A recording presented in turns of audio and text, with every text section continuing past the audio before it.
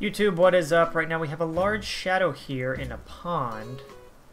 I'm going to try to catch and figure out what it is. Let's see what we got. Ooh. Alright, alright, what do we have? What do we have? Oh yeah, giant snakehead. Heck yeah. Nice. So we caught a giant snakehead. As you saw, it was a pretty large shadow. Um, it was in my pond here. Uh, we'll take one more look at it. Just to check it out. Kind of an ugly fish, but uh, let's look at the Critterpedia. So you know when you can catch one. Uh, the giant snakehead is available June through August. Um, it is caught in ponds, and it is available from 9 a.m. to 4 p.m.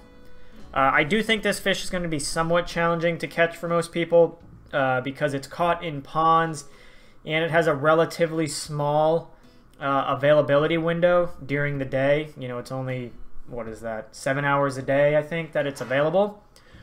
Um, and, and those hours are pretty much in the middle of the day. So just knowing that most people only have one, maybe two ponds on their island, and the fact that, you know, it is a large shadow, and there's limited availability from a time slot perspective. I think, uh, you know, the giant snakehead is going to be one of those fish that just annoys people to catch.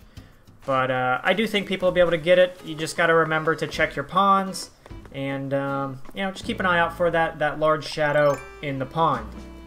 Now with that, I will ask that you all comment down below. Let me know if you've caught a giant snakehead. Let me know if you haven't.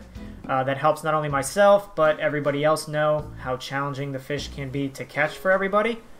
Also, if you all would please drop a like on the video and subscribe to the channel, I would greatly appreciate that, and then you'll know when I post new videos. Thanks, and good luck catching a giant snakehead.